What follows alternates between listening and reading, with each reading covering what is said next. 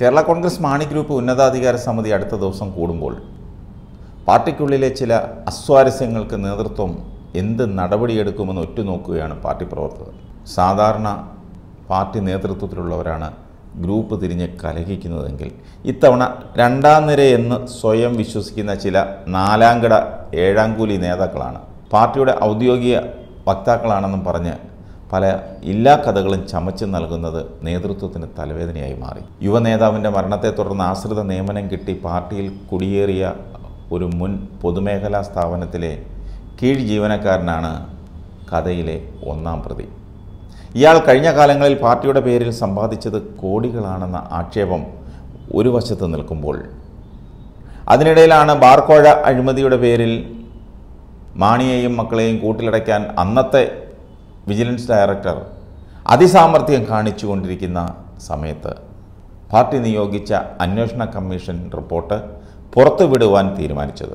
Commission ചെയർമാനായ C F തോമസിനെ K M Mani നേരിൽ കണ്ട് റിപ്പോർട്ട് പുറത്തുവിട്ട് സത്യാവസ്ഥ പൊതുസമൂഹത്തെ അറിയിക്കണമെന്ന് ആവശ്യപ്പെട്ടുവെങ്കിലും കോൺഗ്രസിനെതിരെയുള്ള പരാമർശം ഉപേക്ഷിക്കാതെ റിപ്പോർട്ട് പുറത്തുവിടില്ലെന്ന നിലപാടിൽ സി എഫ് ഉറച്ചു നിൽക്കുന്നു.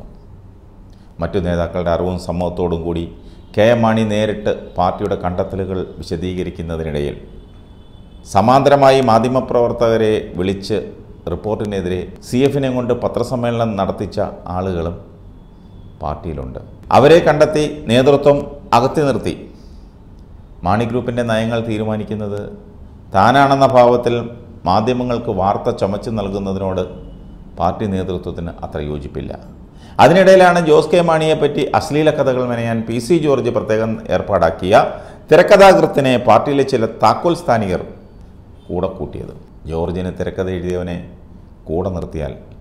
പിന്നെ ആവക കഥകൾ കേൾക്കേണ്ടി വരില്ലെന്ന ഉപദേശമാണ് താക്കോൽ സ്ഥാനിയൻ ജോസ് കെ മാണിക്ക് നൽകിയത്.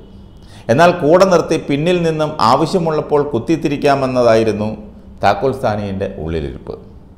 ഇതിനിടെ മാണി ഗ്രൂപ്പ് ആവശ്യപ്പെടുന്ന മൂന്ന് ലോക്സഭാ സീറ്റുകളിൽ പത്തനംതിട്ടയും ഉണ്ടെന്നും അതിൽ ഈ തിരക്കഥാകൃത്തിനെ സ്ഥാനാർത്ഥിയാക്കുമെന്ന നിലയിൽ വാർത്തകൾ പുറത്തു വന്നതോടെ ഇയാൾ തല ഇടത്തോട്ട് ചരിച്ച് ഷർട്ടിന്റെ കോളർ ഉയർത്തി വെച്ച് ഒരു പാർലമെന്റ് അംഗത്തിന് ചേർന്ന തലയെടുപ്പോടെ തകർത്താടുകയാണ്. ഇതിനെ തടയിടാൻ എതിർവിഭാഗം ഇടയ്ക്കിടെ ചില പഴമകൾ ഓർമ്മപ്പെടുത്തുന്ന രീതിയിൽ ചില പഴയ പഴയ വാർത്തകൾ പുറത്തു വിട്ടുകൊണ്ടിരിക്കുകയാണ് ഉളുപ്പും അറപ്പും ജന്മദേശത്ത് പോലും ഇല്ലെങ്കിലും ഈ വാർത്തകളോടെ പഴയ പല തിരക്കഥകളും പലരും ഓർത്തിരിക്കുന്നുണ്ടെന്ന യാഥാർത്ഥ്യം തിരക്കഥാകൃത്തിന് ബോധ്യമായി ഈ അടുത്ത കാലങ്ങളിലായി.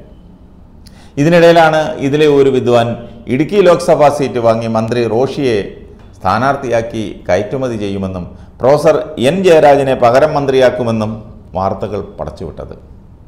പാർട്ടിയുമായി യാതൊരുവിധ ബന്ധവുമില്ലാത്ത ഈ വാർത്ത മാണി ഗ്രൂപ്പിന്റെ അന്ത്യം കാണാൻ കൊതിക്കുന്നവർക്ക് ആഘോഷമാക്കാനേ ഇടയായുള്ളൂ.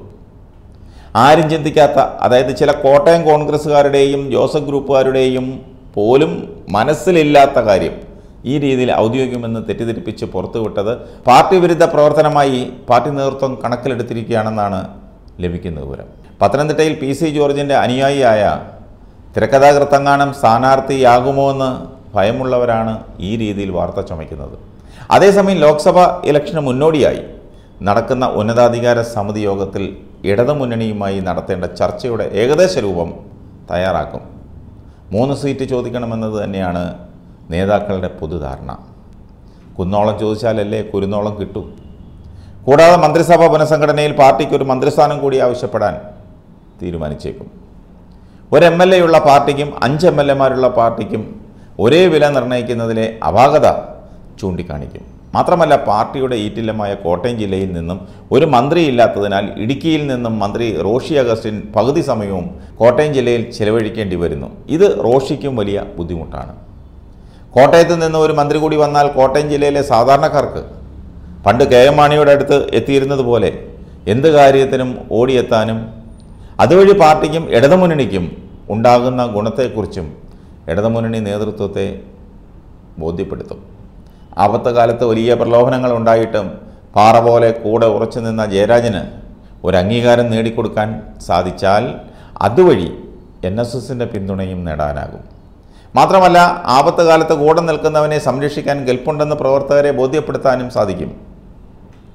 ഇതിനിടെ മുതിർന്ന നാല് നേതാക്കളും കൂടി ആലോചിച്ച് പാർട്ടി അക്കൗണ്ടിൽ ബോർഡ് മെമ്പർമാരായവരെ പറ്റി ഒരു പഠന റിപ്പോർട്ട് തയ്യാറാക്കാൻ ഒരു സ്വകാര്യ ഏജൻസിയെ ഏൽപ്പിച്ചിരുന്നു.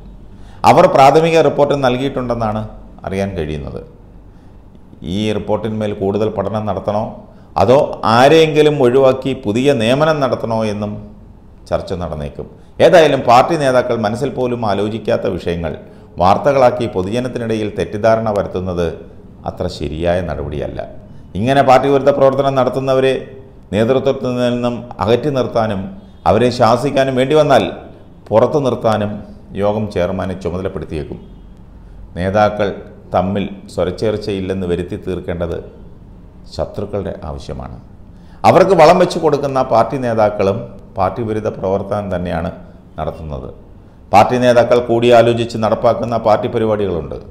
ഇതിന് വിരുദ്ധമായി മെനയുന്ന കഥകൾക്ക് യാതൊരു വിലയും കൽപ്പിക്കരുതെന്നാണ് നേതാക്കൾ പങ്കുവയ്ക്കുന്നത്.